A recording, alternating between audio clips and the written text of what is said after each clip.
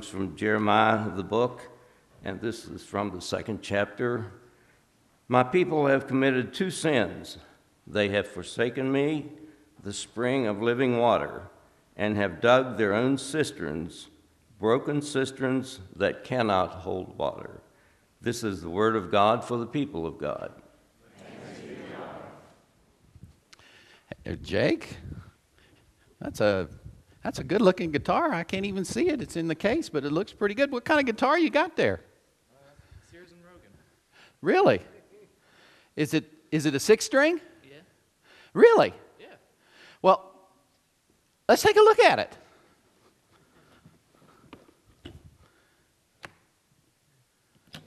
Oh man, look at that. Oh yeah, six strings. Oh man, I love it.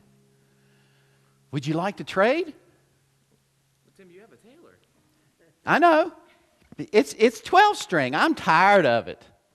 I, I, I don't I don't want it anymore. But I I I'd love to trade. Would you be interested?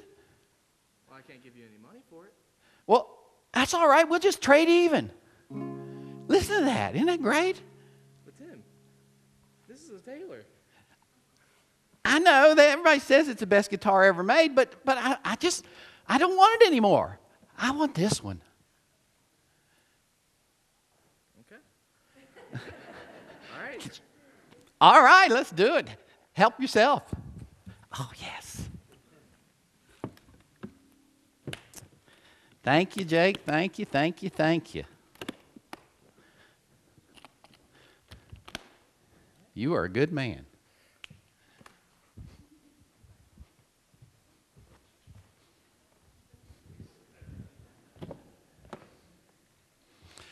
That's a good trade, wasn't it? Who said no? Choir, that was a good trade, wasn't it?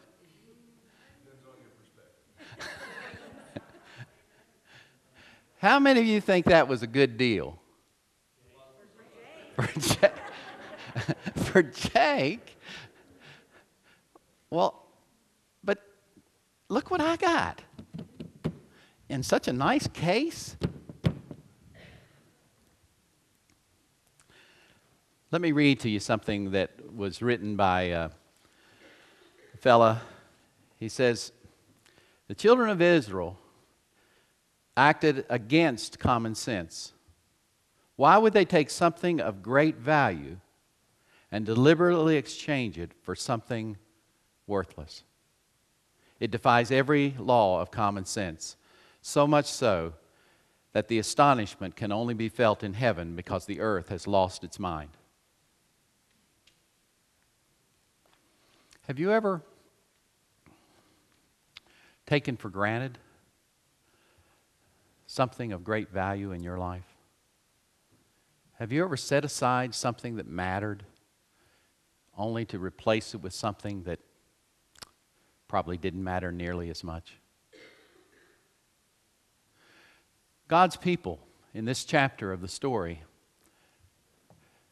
Israel has already been carried away into captivity. The northern ten tribes, they've already been carried away and destroyed. And now only remains is the southern kingdom, Judah. Jeremiah, the prophet, who spoke those words that Troy read today, reminded them of the two great sins they had committed. They have left their God. He likened it to living waters. They've left their God and they've dug cisterns that are cracked and worthless and won't even hold water. Why is it that in this world, human beings are prone sometimes to lay aside those things that matter deeply in exchange for things that are only temporary, temporary and, and not lasting? Why is it that people forget that the God of our creation, the God of our salvation, has called us all into relationship with Him? And anything we do or anything we say that contradicts or draws us away from that relationship with our God is a, is, a, is a, just a, a horrible, tragic mistake. I remember um, on the weekend that Reva and I met, we were uh, leading a youth retreat in the Beckley area, and a fellow from Princeton named Norman Arrington. I don't know if anyone ever heard of him. Norman was a one person uh, uh, dramatist, and he would come and do one person soliloquies of, of various characters in the Bible. And he came and did Jeremiah. And he dressed in what he thought was the proper attire for a prophet like Jeremiah, and he, he began to tell us Jeremiah's story. And I'll never forget a line that he said. Jeremiah warned the people about forfeiting their faith for other gods. And he preached and he preached and he preached to the, to the children of Israel. And as far as we know, for all of Jeremiah's preaching, for 40 years, he never had one convert.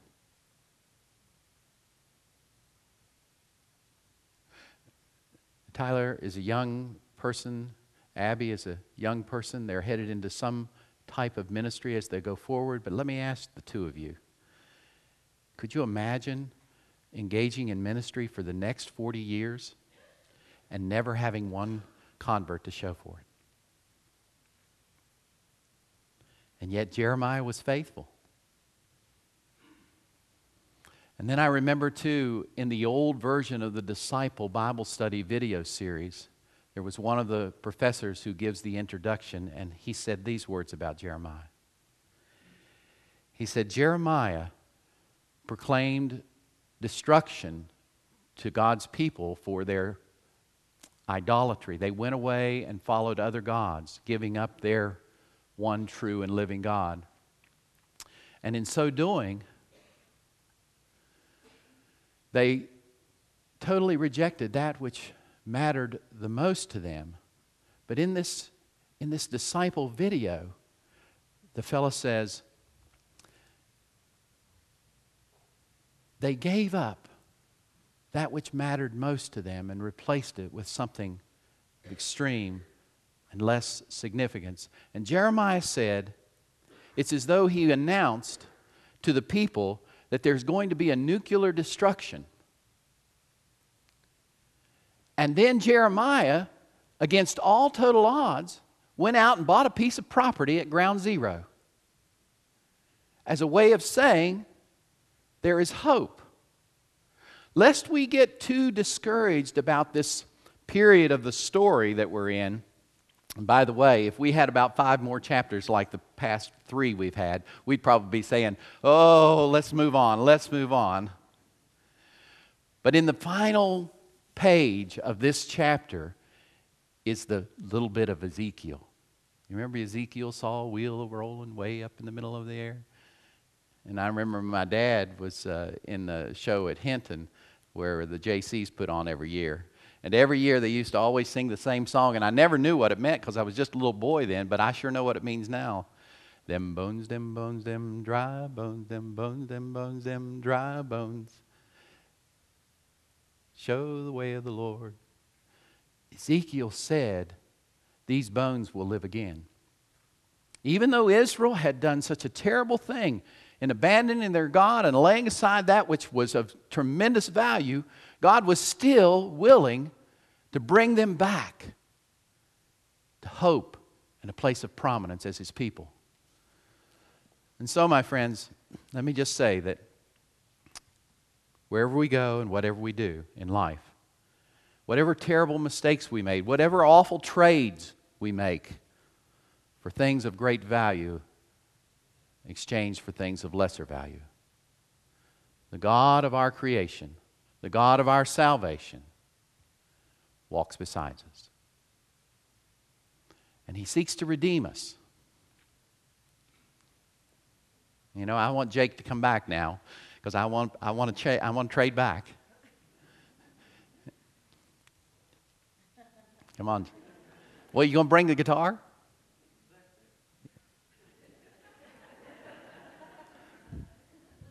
I didn't tell him about this part of the story.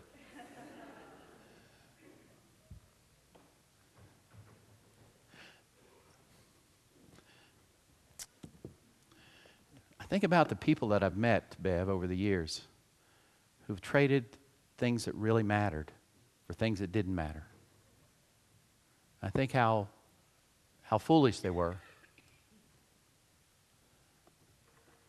And, and yet, our God, like Jake right now, is willing to give us another chance. Thank you, Jake.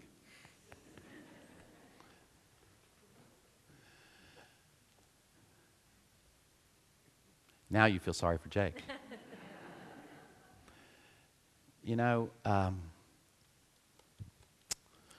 I just think that.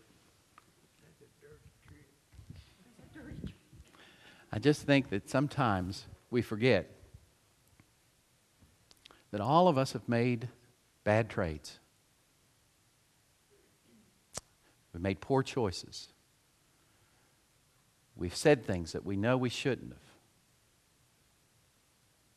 How do we, how do we get that back? Sometimes you can't. Sometimes all you can do is move forward from where you're at.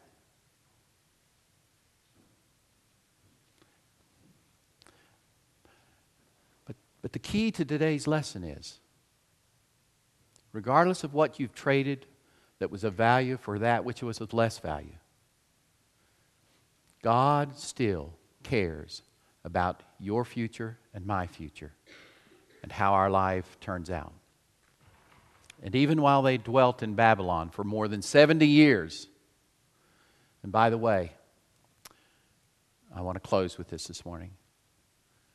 Some scholars of the Bible believe this, and I want you to know that I'm beginning to see it and believe it more and more every day.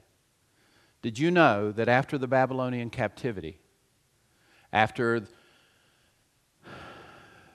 the children of Israel were carried away and the temple was destroyed, and after they came back and rebuilt the temple, did you know that as far as we can tell, there was never a time in the history of Israel thereafter that they ever engaged in idolatry, forsaking their God and taking other gods?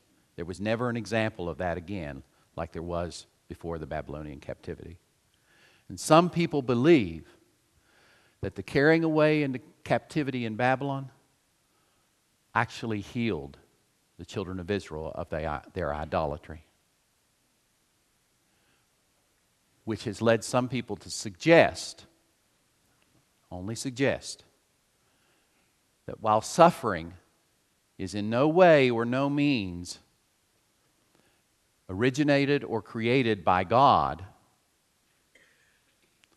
suffering can have healing properties in our lives. There are things that happen to human beings in this world that cause them to suffer emotionally and physically. And even though God did not ordain those events, those events can bring healing into people's lives.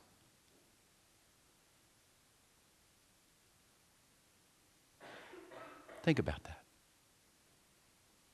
Think about that in your own experiences. Think about where God has healed you through something you've gone through.